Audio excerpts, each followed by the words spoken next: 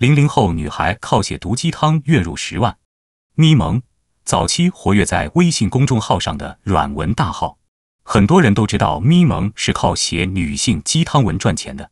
在咪蒙最火的时候，想在上面插一条广告，少则几十万，多则上百万。这样一个以文字为主要内容输出类型的自媒体账号，影响了成千上万的女性群体，甚至被认为是国内田园女权泛滥的始作俑者。不过，正如咪蒙的突然爆火一样，她的消失也是转瞬之间的事情。因为价值观导向的问题，咪蒙逐渐退出了舞台。但这并不意味着类似的针对女性的自媒体账号就销声匿迹了。咪蒙的主要受众群体是以八零后、九零后女性为主，而随着零零后逐渐走向社会，他们就逐渐成为了这类自媒体账号的目标粉丝群体。那么，你们知不知道零零后最爱看的毒鸡汤是哪一类？这些文章的标题大概是这样的：我不想在最好的年纪背着假的 LV，一部 iPhone 就把你哄好了，你是有多贱？傻叉被假富二代男朋友睡了，等等。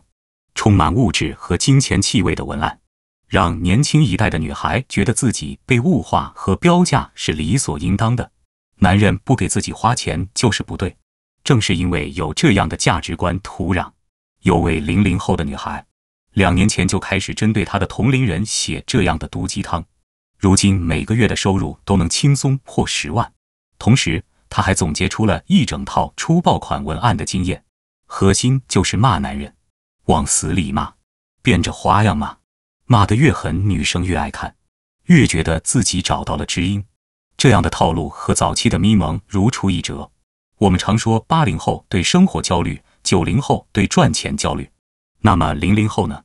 印象里，零零后还只是孩子，但二零零零年出生的人，今年已经年满二十三周岁，已经大学毕业走向社会，他们也有焦虑和烦恼。